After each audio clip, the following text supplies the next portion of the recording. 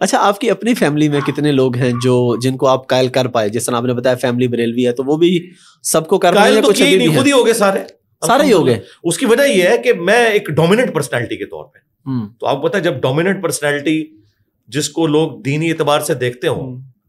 तो अगर वो ये डिसीज़न करें मैंने अपने भाइयों को सिर्फ़ एक दिन बैठ के वो भी उनको स्पेशली बिठा के नहीं हम्म। एक अपना जो घर में बैठक में छोटा सा प्रोग्राम करता था उसमें बैठ के उन्होंने एक बस एक डेढ़ घंटे की गुफ्तु सुनी है दैट्स ऑल समझ आ गया ज़ाहिर है पढ़ा लिखे लोग जो है वो तो फिर आगे बहस नहीं करते हम कहते हैं भाई ये देख ले ये कुरान है ये हदीस है ज़ाहिर बात है जब कुरान हदीस में एक चीज़ होगी उसकी अगर अगेंस्ट कोई बात आती है तो वो काबिल कबूल नहीं हो सकती किसी जी जी बिल्कुल नहीं हो सकती। अच्छा टॉपिक्स पे भी आएँगे ये बताएँ कि आप शादीशुदा हैं? जी जी अल्हम्दुलिल्लाह। अच्छा कितने बच्चे हैं आपके? चार हैं जी दो बेटी हैं दो बेटे माशाल्लाह और बेगम एक ही है? हाँ जी बेगम एक ही अल्हम्दुलिल्लाह। अच्छा। जितने भी लोग दीन का काम करने वाले हैं ना वो एक बेगम के साथ ही कर सकते हैं। अच्छा वैसे काफ़ी सारे दिन का काम करने वाले जिनकी दो दो हैं। हाँ। और मैं जाती तौर पे कुछ लोगों को जानता हूँ मैं नाम नहीं लूँगा जिनका पब्लिक में नहीं पता कि उनकी दो दो तीन तीन है लेकिन खुफिया शादियाँ हैं उनकी। अच्छा, किसी के लाहौर में है तो किसी इस्लाम की रूह से तो जिना है जी।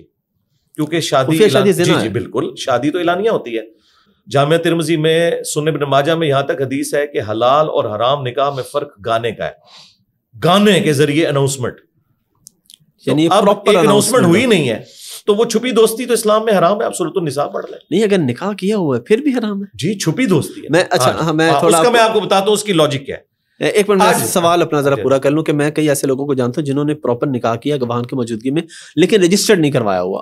डॉक्यूमेंटेशन कोई नहीं वो कहता भाई जी जिना है। आ, उसकी वजह ये है उसकी वजह ये है हम्म। यही तो उनकी चोरी है। हम्म। क्यों नहीं रजिस्टर करवा रहे?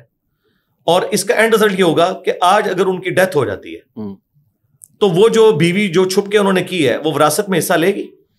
वो तो कानून कानूनी तौर पे नहीं ले तो सकती। तो कुरान ने तो विरासत के अहकाम बताए हैं उन्हें हदूदुल्ला बताया है। हम्म। तो ऐसा शख्स ज़िंदगी में भी हराम कर रहा है और मरने के बाद भी वो कब्र में अल्लाह के अजाब में होगा कि उसने एक ऐसी बीवी छोड़ी है और उसके बच्चे कि जो उसकी विरासत में से ले नहीं सकते कानून हम्म। इस वजह से मेरे भाई ये गवाह क्या है? ये गवाह क्या है? इनके मुरीदीन होते हैं अपने।